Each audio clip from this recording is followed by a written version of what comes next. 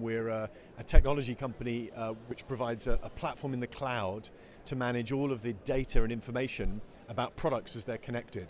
So anything interesting, valuable, cool that happens when a product is connected, be that the analytics for the brands or the experiences for the customers or the supply chain efficiencies, uh, we make happen in the cloud with the data management. And what are the benefits for the marketer or, or for the even for the for the retailer? I think the, the benefits are all the way along the life cycle of a product. So it's how a product is made, how it's distributed, how it's sold, how it's bought by consumers, and ultimately used and recycled. So from a company, knowing where their products are and understanding what the materials are that go in them, being able to audit the sustainability, the tracking of those products, putting it into retail, it helps the retailer understand uh, and manage inventory as well. It also helps the retailer maybe prevent fraud. If somebody brings an item of clothing back and claims they bought it at a shop, the retailer can ask that item if it was bought there or not, and it knows.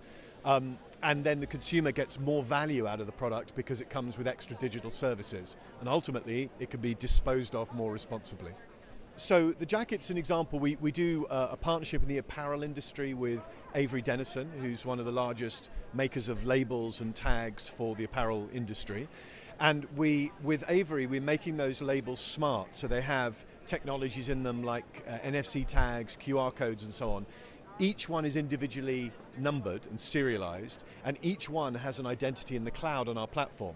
So with this jacket, it means that you can walk around town in New York with this jacket once you buy it, and when you scan it with your phone, it will get you into clubs, get you great seats at restaurants. You walk into retailer partners, and they will get a free gift because you are, if you, if you like, unlocking new experiences in the world by having that particular item. Three to five years, you'll see this become absolutely part of the mainstream. So it'll be in the high street, in the living room, uh, because the actual cost of doing this is not that much. You don't have to put expensive technologies in uh, products these days to make them connected.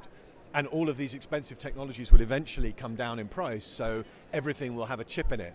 But today, you just need to have a very, very lightweight tag pointing to the cloud that a consumer can interact with a smartphone or somebody in the supply chain can interact with, and you can trigger digital services. So I think this is starting to happen very, very fast.